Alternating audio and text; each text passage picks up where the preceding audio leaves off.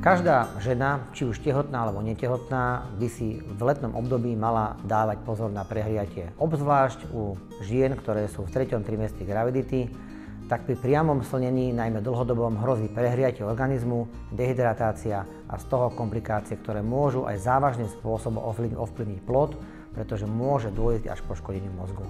Čiže je možné doporučiť, aby sa slnili či už najmä v ranných hodinách do nejakej 10. hodiny a následne potom aj v poobednejších hodinách po nejakej 15. hodine, kedy už nie je taký intenzívny svit slnečného svetla, alebo je ideálne zdržiavať sa čo, najviac v tieni.